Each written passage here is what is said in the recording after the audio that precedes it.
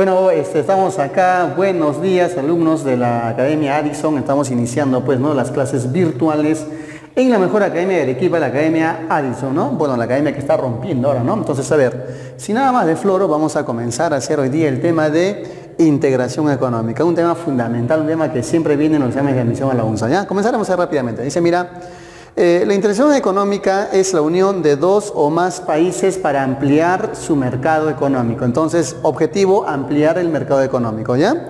Bueno, cuando dos países se juntan, se unen, ¿no? Se, se, se, se, juntan, van a hacerlo en seis fases, ¿ya?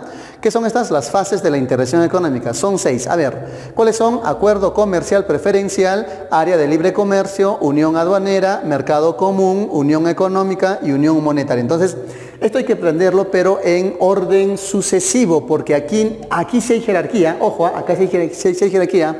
A ver, repito ya. Acuerdo comercial preferencial, área de libre comercio, unión aduanera, mercado común, unión económica, unión monetaria. Muy bien, a ver. En el acuerdo comercial preferencial, ¿qué ocurre?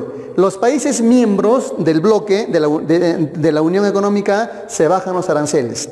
En la segunda fase ya se eliminan los aranceles. Solo los países miembros, o sea, en la, en la, primera fase, la política comercial con otros países es independiente. En la segunda se mantiene, esa política comercial con otros países se mantiene independiente. En la tercera fase, más bien, ¿ya qué pasa? La política comercial con otros países se iguala. Es decir, es decir, a ver, eh, en la primera y en la segunda, cada, los miembros del bloque económico le cobran a otro país el arancel que creen por conveniente, mientras que en la tercera fase se ponen todos los países de acuerdo para cobrar un solo arancel a otros países. Por eso dice, ¿no?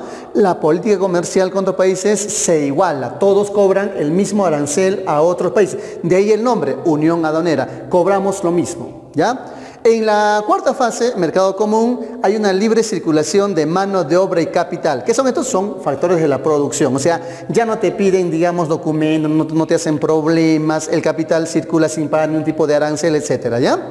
En la cuarta fase, en la quinta fase, perdón, la unión económica, las políticas macroeconómicas y sectoriales se armonizan, es decir, todos los países intentan ir a apuntar a un solo norte, ¿no? Digamos, a ver, todos los países se vuelven mineros, ¿no? tratan de darle fuerza a la minería, o todos los países tratan de darle fuerza a la agricultura, ¿no? Apuntan a un solo norte, ¿ya? En la última fase, unión monetaria, el nombre lo dice, ¿no? Es la aparición de una nueva moneda, ¿no? Esto es muy difícil de lograr en realidad. Los bloques económicos en América del Sur y en el mundo se quedan en, la tercera fase, en la cuarta fase, etcétera, ¿ya? Difícilmente llegan a la quinta o a la sexta fase. Entonces, a ver, vamos a repetir esta partita, ya es fundamental, ¿ah? Grabarse, por favor, alumnos Addison, ya todas las fases, ¿no es cierto?, de la integración económica. ¿Cuáles son? Acuerdo comercial preferencial, área de libre comercio, unión aduanera, mercado común, unión económica unión monetaria. Listo, a ver. Ahora por acá, tenemos en este ladito, a ver, giramos la pantallita, a ver si por acá, mira, modalidades de integración, ¿no? ¿Cómo se pueden integrar? ¿Cómo se pueden juntar? De tres formas. ¿Cuáles son? Bilateral, multilateral y regional. ¿Qué es bi? Dos, ah, allá, entonces dos países nada más, ¿no? ¿Qué es multi? Más de dos. Ah, varios, pueden ser tres, cinco, diez, quince, veinte, lo que sea, ¿ya? Regional, ah, cuando son países que son de un solo continente. Por ejemplo, la famosa OEA, ¿qué es la OEA? Es la Organización de Estados Americanos. Estados Americanos, allá, ah, es regional. 660 cuenta, ¿no? Ya está. Entonces, esas son las tres modalidades. A ver, aquí he hecho un esquemita de cinco bloques importantes en América, en América, ¿no es cierto? Y también que abarcan eh, varios países del mundo en el cual está el Perú. A ver, tenemos acá la CAN, la CAN, el Mercosur, la Alianza del Pacífico, el ALBA y el APEJA, ya, el APEJ por allá. A ver, comenzaremos acá. Eh, la CAN es la Comunidad Andina de Naciones, el Mercosur es el Mercado Común del Sur, la Alianza del Pacífico, el ALBA es la Alianza Bolivariana de América. Y el APEC viene a ser, pues, ¿no? El Foro de Cooperación Económica Asia-Pacífico. A ver, eh, en este esquema que está acá he comenzado haciendo básicamente los integrantes de estos, de estos bloques. Eh, eh, la CAN es un bloque muy antiguo, es digamos el bloque más antiguo e importante de América del Sur, lo forma Perú, lo forma Bolivia, Ecuador y Colombia, cuatro miembros actualmente activos. ¿ya? Mercosur lo forma un gigante, ¿no? Argentina, otro gigante, Brasil, países pequeñitos, Paraguay Uruguay, ¿no? Y Venezuela que está ahí, pero que ha manifestado su intención de retirarse de este bloque, ¿ya?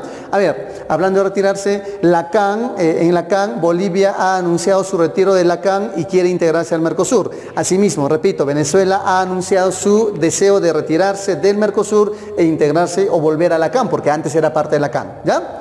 Eh, Alianza del Pacífico, ¿no? Está formado por Perú, Chile, México y Colombia, ¿no? Este bloque ha sido impulsado por Perú, ¿ah? Perú ya y Colombia impulsaron este bloque, ¿no? Luego se juntó Chile y al final se juntó México, ¿ya? Eh, el ALBA, el ALBA lo forma Cuba, Nicaragua, Venezuela, Ecuador, Bolivia. También lo forman las Antillas Menores. ¿Qué país es profesor? Antigua y Barbuda, que es un país, ¿ya? No, no, no, no es ninguna alusión personal. ¿ah? Dominica, Santa Lucía y San Vicente y las Granadinas. Entonces, el ALBA es un bloque especial porque recordemos que fue fundado por Hugo Chávez, ¿no? Este, este, este ya este difunto presidente venezolano formó el ALBA y justamente los juntó pues a los países que eran medios rebeldes, ¿no? Medios de izquierda. ¿Quiénes son? Cuba, Fidel Castro, ¿cierto? A ver, Nicaragua hace tiempo era de izquierda ya, Venezuela izquierda, Ecuador, Rafael Correa era de izquierda, ya, ya, ya no está en el poder, Bolivia, Evo Morales que lo han sacado. Entonces, ¿qué cosa juntó? Juntó a países que eran, digamos, rebeldes al imperio, ¿no? Entonces, ese es el ALBA, ¿ya?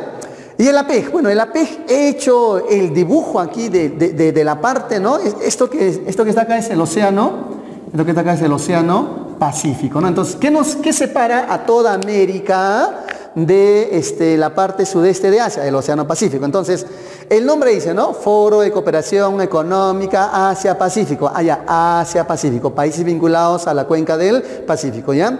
Los miembros, ¿quiénes son? Son 21 países miembros. A ver, comenzaremos, ¿no? En América solo son cinco. ¿ah? ¿Cuáles son? Chile, Perú, en el sur. Nada más. ¿ah? No, no Bolivia, no Ecuador, no, no, Argentina, nada que ver. ¿ah? Solamente quién? Chile y Perú. ¿Quién más está arriba? México, Estados Unidos y Canadá. Ya, solo cinco miembros. Los demás son de Asia y de Oceanía. A ver, Asia, Rusia, el país más grande del mundo. Recuerden, Rusia, ¿ya? Abajito, China, China, China, coronavirus, China, China, acuérdate por China, ¿ya? Corea del Norte y Sur, norte no me interesa, sur sí, Corea del Sur, Japón, la isla, Japón, Taiwán, Hong Kong, Taiwán, Hong Kong, Vietnam, Vietnam y Filipinas. Un bloque al norte. Ya a ver, voy a repetir. ¿ah? Rusia, China, Corea del Sur, Japón, Taiwán, Hong Kong, Vietnam y Filipinas. Ya está por acá. Vamos a la parte sur, digamos, la parte sur-sur. Ya a ver, mira acá. Tailandia y Singapur. Tailandia, Singapur acá, ¿ya?